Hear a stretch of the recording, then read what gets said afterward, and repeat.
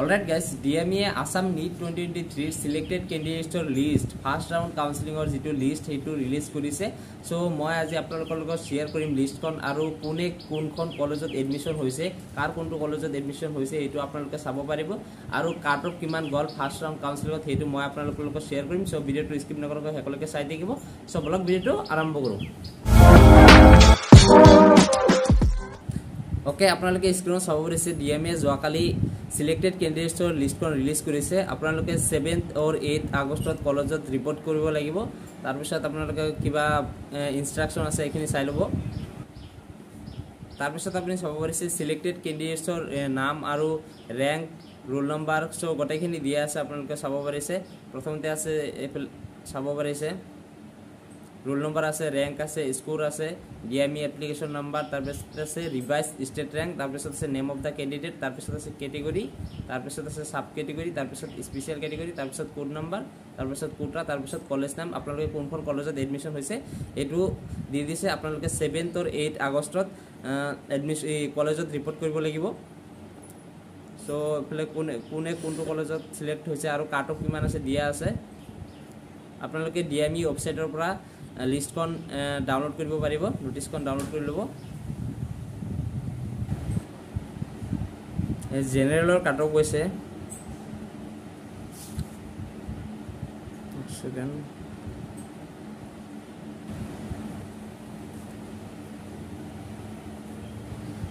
চ' জেনেৰেলৰ cut off গৈছে five fifty two Kokrajhar medical কলেজত আৰু আপোনালোকে চাব পাৰিব কোনটো কাট অফ কিমান গৈছে নিজৰ নিজৰ নামটো চাব পাৰিব। চ' মই আপোনালোকক দি দিছোঁ কোনটো কেটেগৰীত কিমান কাট অফ গৈছে। আপোনালোকে ইয়াতে চাব পাৰিব ইয়াৰ পৰা উলিয়াব পাৰিব। ইয়াতে টাইম লাগিব কাৰণে মই এক্সট্ৰাকৈ দি দিছোঁ।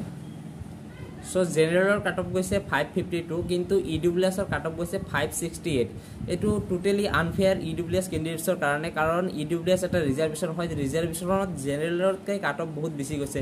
চ' এনেকুৱা হ'ব নালাগে। এইটো ডি এম ইয়ে বহুত ডাঙৰ ভুল কৰিছে চাগে এইবাৰ চ' নেক্সট কাউন্সিলিঙত এইটো ঠিক কৰিব পাৰে ঠিক কৰাৰ চান্স আছে। কিন্তু এনেকুৱা হ'ব নালাগে যে জেনেৰেলতকৈ ই ডব্লিউ এছত কাট অফ বহুত বেছি যায়। চ' এইটো হ'লে ই ডব্লিউ এছত ৰিজাৰ্ভেশ্যনৰ প্ৰয়োজন কি? ৰিজাৰ্ভেশ্যন দিছে কিহৰ কাৰণে। প্ৰথমে প্ৰথমতে জেনেৰেলত কাট অফ যায় তাৰপিছত জেনেৰেলি ই ডব্লিউ এছত যায়। কিন্তু এইবাৰ ওল্টাকা হৈছে। যিবোৰ এতিয়া যিবোৰ কেণ্ডিডেটছে এছৰ কাৰণে এপ্লাই কৰিছে সেইবোৰক ডাইৰেক্ট ই ডব্লিউ এছত কাট অফ তেনেকৈ দিছে। কিন্তু আগতে এনেকুৱা কৰা নাছিল। আগতে জেনেৰেলত কাট অফ গৈছিল তাৰপিছত জেনেৰেলত যিকেইটাত পোৱা নাই সেইকেইটাত ই ডব্লিউ এছত এপ্লাই কৰিছিল তেনেকৈ দিছিল। কিন্তু এইবাৰ ডি এম ইয়ে এনেকুৱা ভুল কৰিছে কিয় নাজানো। চ' নেক্সট ৰাউণ্ড কাউন্সিলিঙত সেই ভুলটো শুধৰণি কৰিলে ভাল হ'ব। কাৰণ ই ডব্লিউ এছ কেণ্ডিডেটছৰ কাৰণে এইটো টোটেলি আনফেয়াৰ কৰা হৈছে। চ' এনেকুৱা কৰিব নালাগে। তাৰপিছত আছে অ' বি চি কেটেগৰী কেণ্ডিডেটছৰ কাৰণে ফ'ৰ থাৰ্টি ছিক্স গৈছে cut off S C category কেণ্ডিডেটছৰ কাৰণে কাট অফ গৈছে four fifty four S T প্লেনছৰ কাৰণে গৈছে থ্ৰী এইট্টি ওৱান আৰু এছ টি হিলছৰ কাৰণে গৈছে three fourteen so' second round আৰু থাৰ্ড ৰাউণ্ড কাউন্সিলিঙত কাট অফ কমিব। চ' এইখিনি আছিল। আপোনালোকে যিবোৰে এডমিশ্যন হোৱা নাই বা যিবোৰে চিলেক্ট হোৱা নাই এইকেইটা আপোনালোকে ছেকেণ্ড ৰাউণ্ড কাউন্সিলিঙত এটেম্প কৰিব। চ' আজিৰ কাৰণে ইমানখিনি আছিল। নেক্সট ভিডিঅ'ত আকৌ লগ পাম। Thank U